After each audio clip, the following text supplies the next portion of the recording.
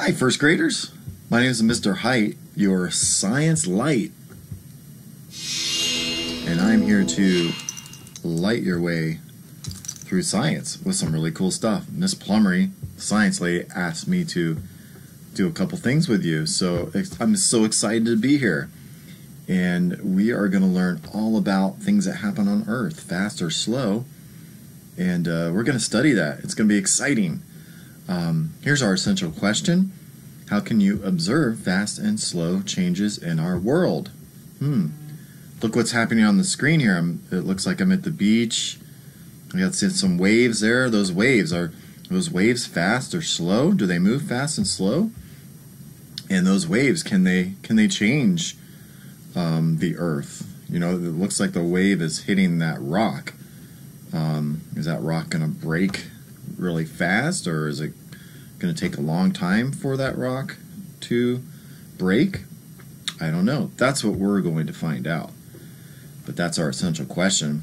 Our learning goal is that we're going to recognize that some things in the world happen fast and some things happen slowly. Yes.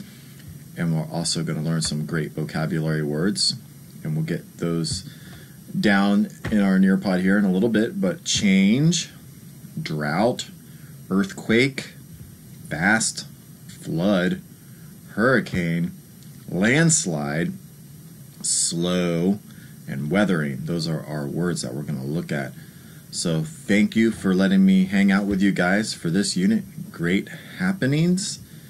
And um, we're going to have some fun. We're going to hear some songs. So, we got a song coming up we also have a great video from a scientist from MIT. He's going to show us a really cool model of um, some things that could happen on, on Earth with uh, some little pigs. It's very funny. I think you'll like it. And we'll look at our vocabulary words too. All right, first grade scientists, I will see you later. Again, I'm Mr. Hite, your science light. See you in a bit.